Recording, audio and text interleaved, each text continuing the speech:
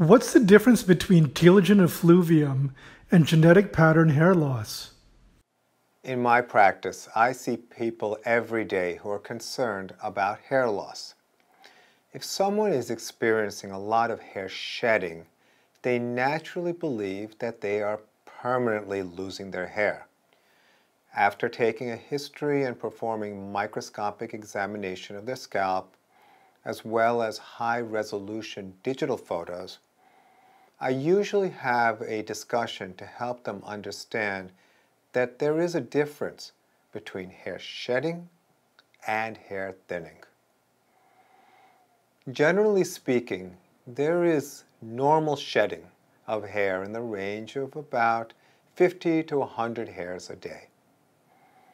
Hair shedding can temporarily increase due to hormonal changes, such as after childbirth.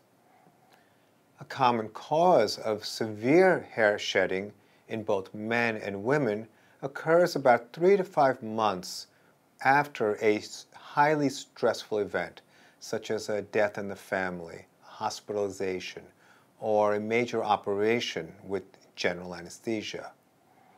This stress-induced temporary hair shedding is known as telogen effluvium.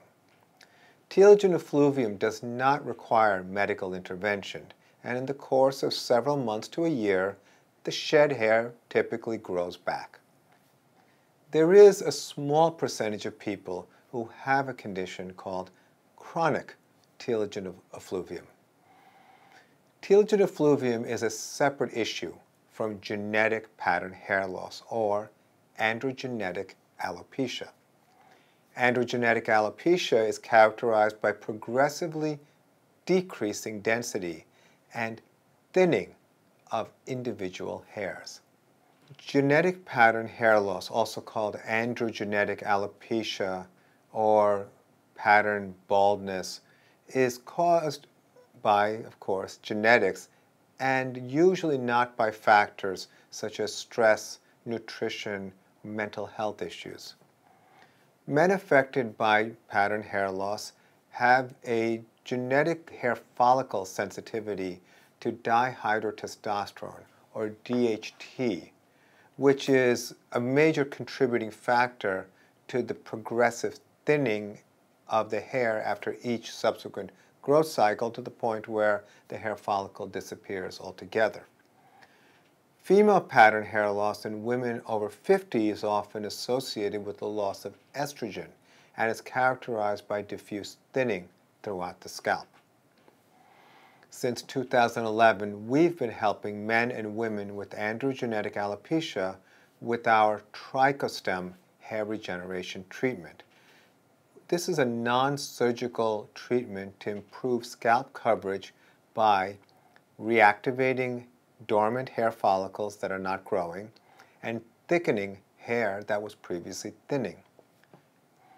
TrichoStem hair regeneration usually involves one to two treatment sessions about 18 months apart, with benefits lasting three to five years.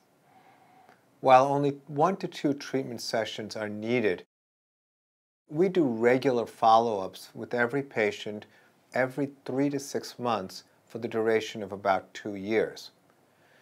During these visits, we review your progress and take before and after photos so you can see how you're doing. With over 99% of our trichostem hair regeneration patients seeing improvement in their scalp coverage, hair density, and hair thickness, we have proven for over a decade that we can help people effectively manage their hair loss and optimize their coverage. In summary, a proper diagnosis is necessary to differentiate telogen effluvium from androgenetic alopecia.